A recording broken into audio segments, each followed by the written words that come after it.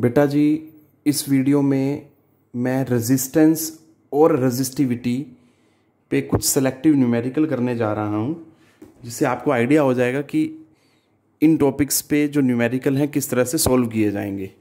So moving towards first numerical on resistance and resistivity देखें ज़रा इसमें। कहता है a wire has a resistance of 16 ohm एक वायर का रेजिस्टेंस जो है 16 ओम है, उसको मेल्ट किया और दोबारा ड्रॉ किया into a wire of half its length मतलब इफ़ वी अज्यूम कि पहले लेंथ एल थी, अब लेंथ कितनी हो गई है? एल बाई टू बट आप सोचें कि अगर लेंथ ये थी एल और ये एरिया ऑफ़ क्रोसेक्शन था ए तो अब उसको मेल्ट करके आदि में बदल दिया है। तो आप सोचो तो ऐसा करने से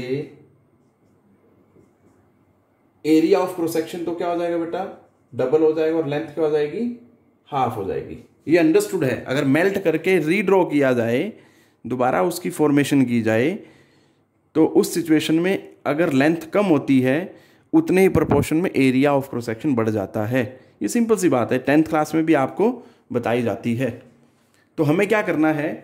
Calculate the resistance of new wire मतलब नया रेजिस्टेंस निकालना है, जो वायर चेंज हुई, बदल के हमने जो मेल्ट करके बनाई नई, उसका रेजिस्टेंस निकालना है। What is the percentage change in its resistance दो बातें पूछी हैं उसने।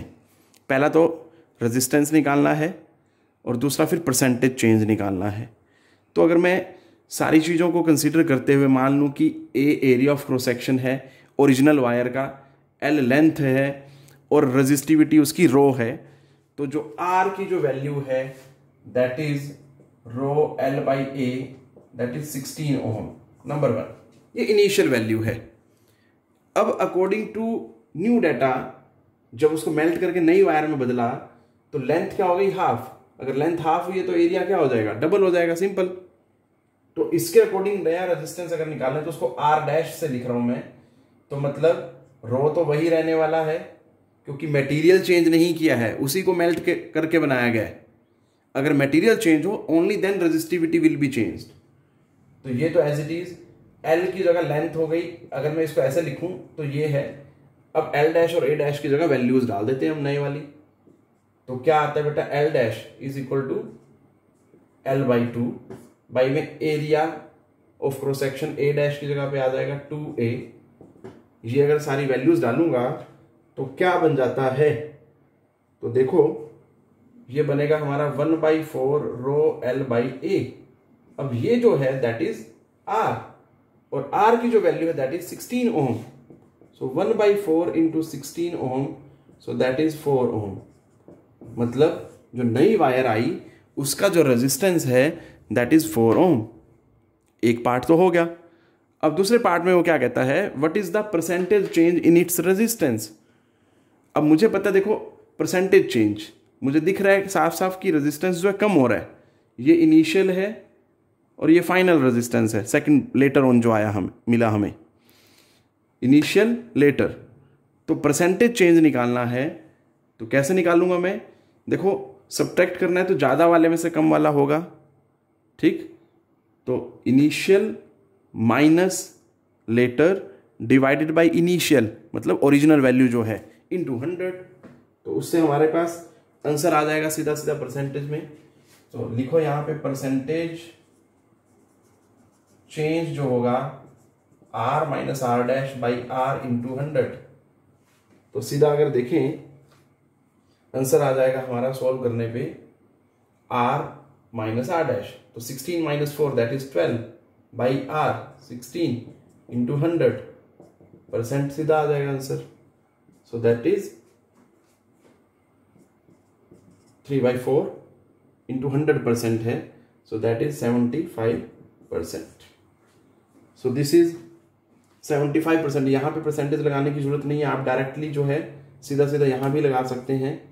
सेवेंटी फाइव परसेंट आंसर आ जाएगा हमारा. क्योंकि परसेंटेज चेंज पूछा है सोल्व कर लिया और लास्ट में आपने सीधा सीधा परसेंटेज में आंसर दे दिया। So there will be percentage change in resistance and that is 75 percent so moving towards the second numerical based on the same topic resistance and resistivity second numerical में क्या है? A potential difference of three volt is applied across a conductor of resistance this calculate the number of electrons flowing through it in one second.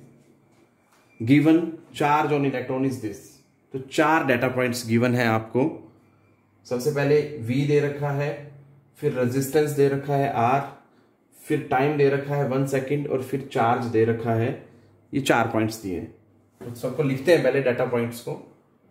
V is equal to three volt resistance is equal to one point five ohm फिर time जो है that is one second और फिर charge जो है that is this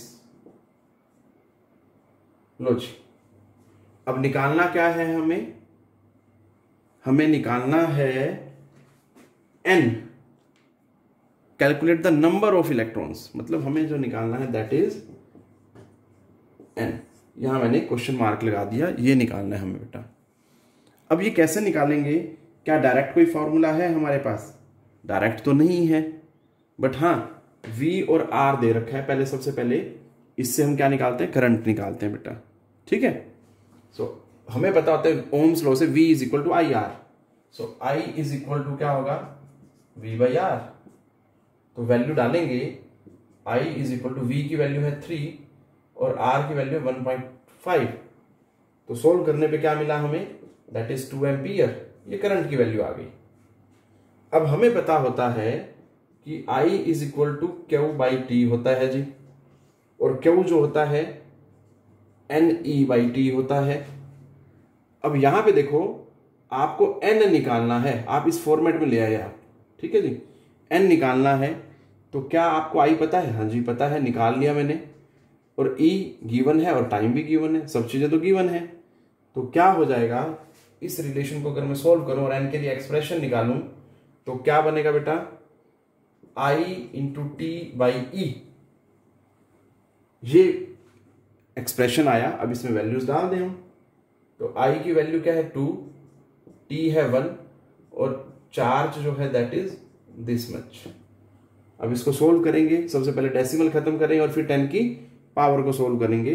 अपने आप आपका सॉल्यूशन आ जाएगा और final solution will be 1.25 into ten raise to power 19 electrons मतलब इतने इलेक्ट्रॉन एक सेकंड में फ्लो करेंगे। So this is all about numericals based on resistance and resistivity